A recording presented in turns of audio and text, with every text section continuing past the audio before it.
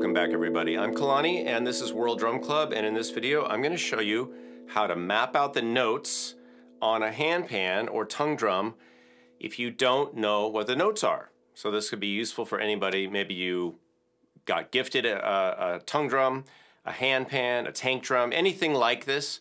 Uh, we're going to figure out how to find out the notes. And you can see right here I've got a tuner. So you're going to want to have some sort of tuner to go through this process. Now, I will say that many manufacturers, including the people who made this drum, which is Kosmosky, have tuning maps available on their websites for download. So you can usually do some research online, find the tuning note map or the note map or the tuning for uh, handpan, tank drums, steel tongue drums, and just about any tuned idiophone, right? Any fixed tuning instrument. Now, that being said, if you can't find it or you don't know or you want to figure out the notes yourself, this video is for you.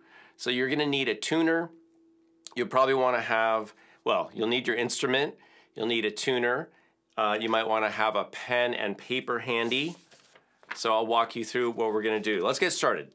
So I'm going to show you from the overhead view and you can see the tuner uh, reacting. We're going to use the tuner in a second, but you see how it reacts to the notes that I play, right?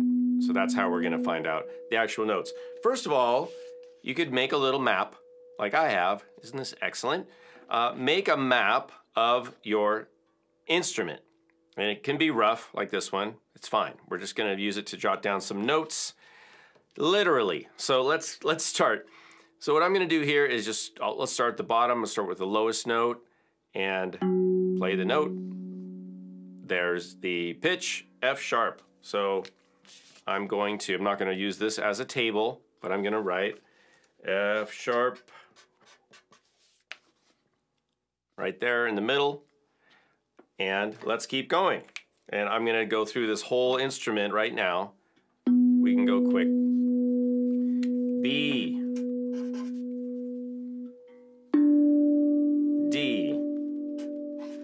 Go side to side. E. Pretty easy, you guys, right? it's pretty straight ahead.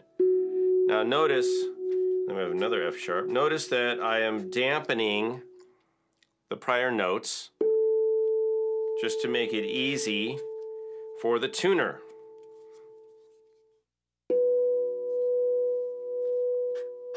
And you can hear, it, presumably, that this drum has uh, multiple octaves of some of the same notes. But we're going to go over that right now.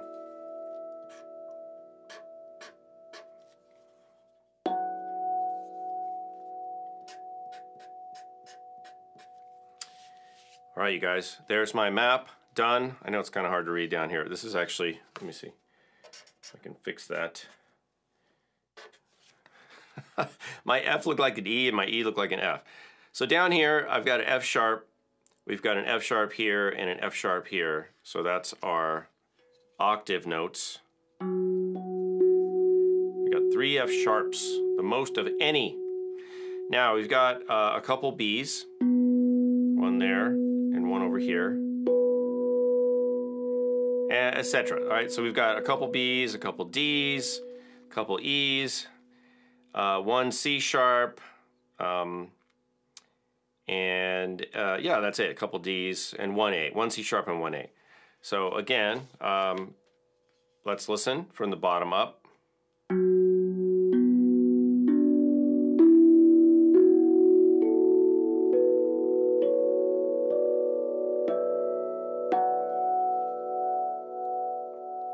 All right, so now we've got our note map, but so what? What does that mean? How can you go to the to the next step, which is figure out one, the key of your instrument or the probable key of your instrument, and two, can you start to create chords or chord areas or tonality areas so you could play two kind of chords back and forth, for example. That might be the first goal. So I'm going to show you how to do that right now. All right, so first of all, you can now you can look up this information. I happen to know this information because I am a trained musician and I have music theory background, but if you don't have music theory background, probably the most likely path you could use to find the key is to do a little bit of counting. And in this case, we're going to count the, the letter names that have sharps on them. And we're going to see which ones, we're going to count what letters we have that have sharps. We don't have any flats. You can also do this with flats. But in this case, we just have sharps. So in this tuning, there's two letter names that have sharps. One is F sharp and the other one is C sharp, or F and C both have sharps. Uh, and then those are also repeated. We have three F sharps, we have one C sharp, but that, that doesn't really matter right now. What's important is that we've identified that we have all naturals except we have an F sharp and a C sharp, right? That's all we need to know. So we have two different notes that have sharps. Well, there's two possible keys that could have two sharps in the usual scale, tonality. We're using Western harmony right now, uh, Western music theory. There's two keys. One is D major. So if you looked up which keys have two sharps, right? If you Google that, one of them is going to be D major, and the other one is going to be what we call the relative minor, uh, which in this case is B minor. The relative minor, you go from the major, you take the major key, and uh, you would, well, there's a couple different ways to do it actually. Um, yeah, let's just stick with that. Let's just, I'm not going to get into any more detail. There's two keys. One is D major and one is B minor. Both of those keys have two sharps in them, and they're the same sharps, F sharp and C sharp, all right? So that's all, that's one way you can zero in on uh, the key. Now, you may not know, okay, I've got two keys, which one is it? Well, at, at, this point, you really need to do some listening and maybe some math, figure it out, you know, do some listening and, and see what the most likely, if you can't hear it right away, uh, what is the most likely key for your uh, tank drum, handpan, whatever the instrument is. Now, in this case, we've got a couple clues. One is, what's the biggest note? biggest note is F sharp. And then what's the next note up? Is B. Now what that tells me is these notes are emphasized. And they also have a certain relationship, which is a 5, 1. Um, also, there's more F sharps. And there's a couple Ds, but there's two Bs and three F sharps. And so if we, if we start up at the top, kind of, you know, just listen to kind of where we'd land.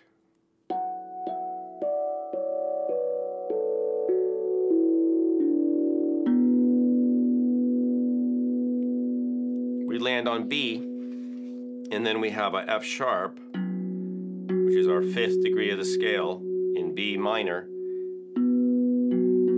And so it kind of points us to this note on the top here, this lowest of the edge notes. So uh, if we're going to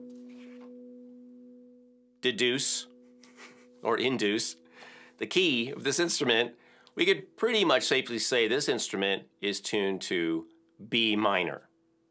Now, it also can play in D major because that's a relative major but it's basically tuned to, to B minor. All right, so that we know.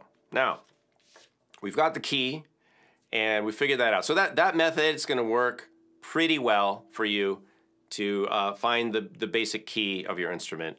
Uh, again, just search, you know, what, what is the keys that have three flats or what is the key that has one sharp and blah, blah, blah. And just do that and then try to listen to it figure out which notes are accentuated or, or brought forward. What are the salient tones? What are the main tones of your instrument?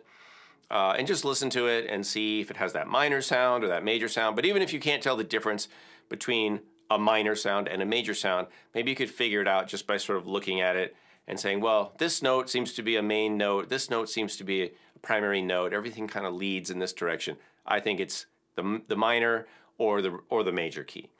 All right, now what if we want to start to divide up the instrument in terms of chord tones or complementary tonalities? Um, I like to play tank drums of all types, hand pans, tank drums. And what I'll often do is I'll find two main tonalities back and forth. Um, and here's a really easy way that you can, you can do that.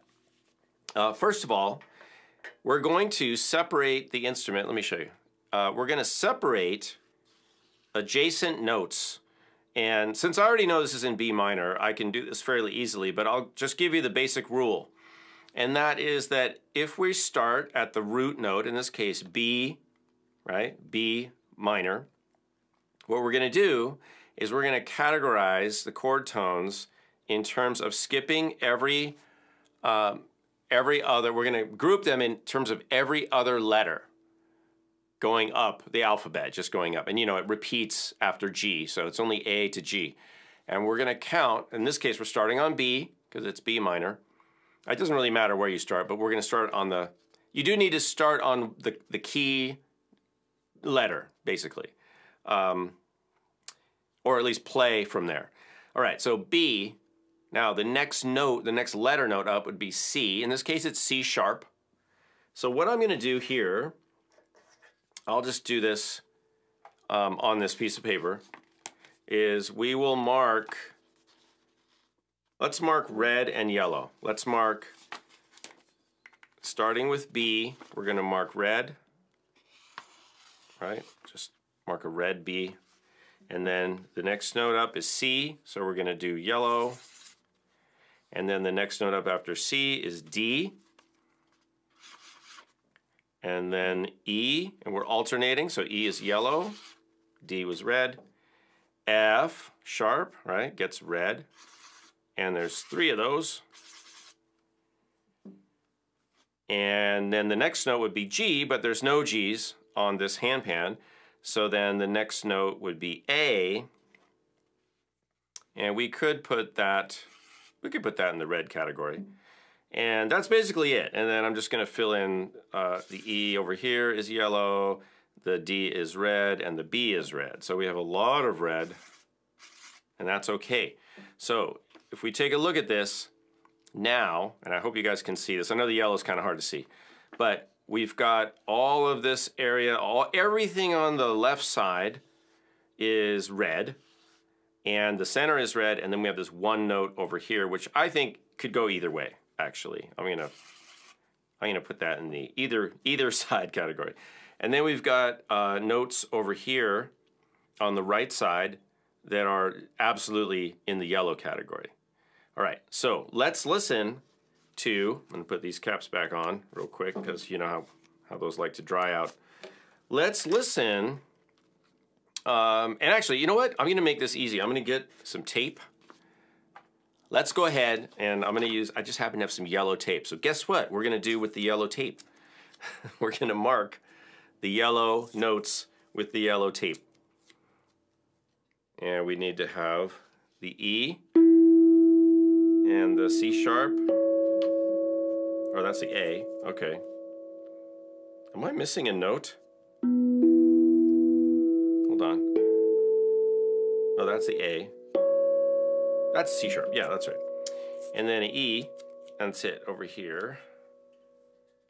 All right, so now, look at this. Those are our yellow notes. And I may put one here too. I don't know. Maybe we'll maybe we'll do this. We'll do we'll do a yellow red. So that'll be optional. Okay, now let's listen First to the yellows all together.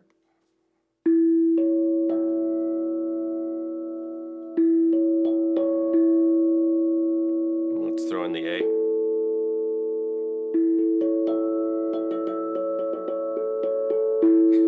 Pretty major. All right, and now let's listen to the other side where we, we skipped every other letter.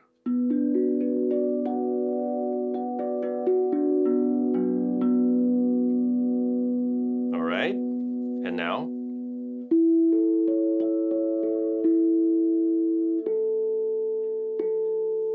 So that's actually, for those of you who are wondering, that's an A major chord. A major, and then B minor.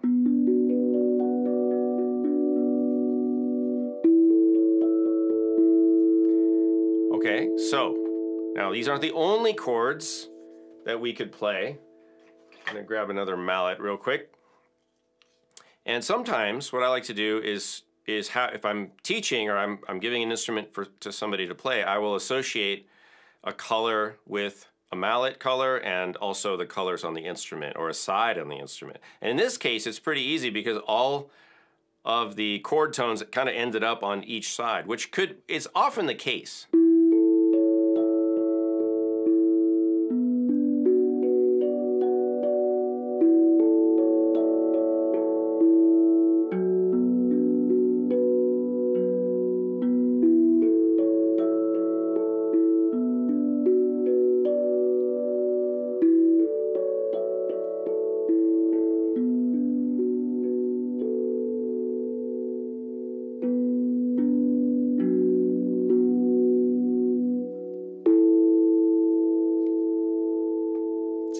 To end on A major.